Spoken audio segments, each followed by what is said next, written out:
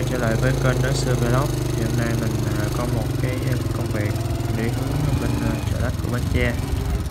Xuôi theo chợ đất chạy khoảng vài cây số thì đến có thể gọi là làng hoa đó các bạn. Mà làng hoa này làng hoa của cái mơn cái mơn bến tre. Thì làng hoa này cũng có một đặc điểm là trồng rất nhiều loại hoa.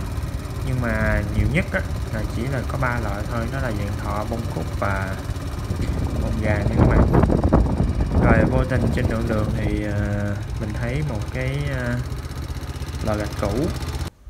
Ha, lò gạch cũ lên đã bỏ hoang.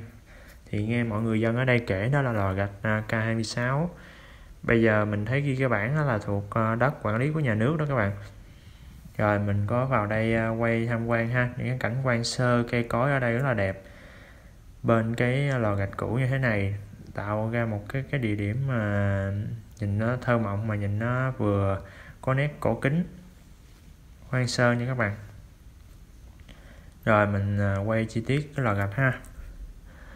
Do lò gạch đã không sử dụng lâu nên à, cây cỏ hoang mọc dại rất là nhiều. Ở trên à, nóc của lò gạch đó, là có những cây trứng cá. Trứng cá nó mọc nó sống rất là to phát triển luôn. Rồi lò gạch à, không sử dụng lâu do đó đã đổ rong ha. Đóng rong. Nhưng mà màu, cái màu sắc này tạo ra cái nét đặc trưng rất là là, rất là quan sơ và tạo cái điểm nhấn đẹp nha các bạn.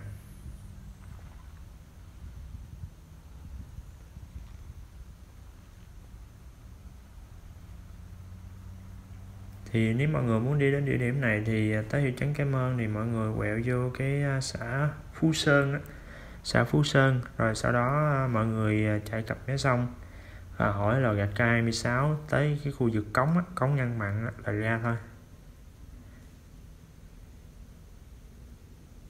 Thì hình như mình thấy ở đây lò gạch này là được mọi người chưng dụng để những cái vật dụng để trồng hoa trồng hoa kiển vào ngày Tết nè. Do đó thì cũng không có đáng sợ lắm nha mọi người.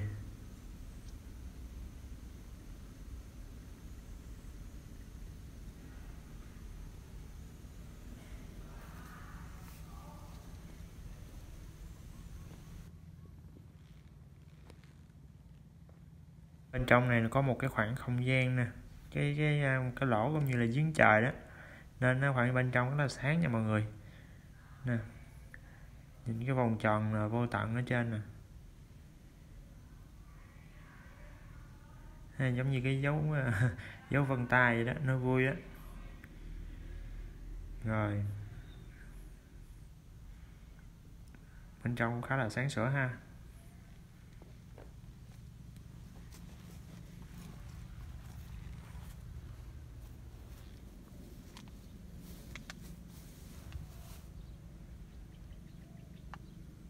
Đến đây thì à, hãy đến à, xã Phú Sơn của huyện Chợ Lách tỉnh Bến Tre. Thì sẽ thấy những địa điểm hấp dẫn như thế này để chụp hình check in rồi, cảm ơn mọi người rất nhiều. Xin chào mọi người.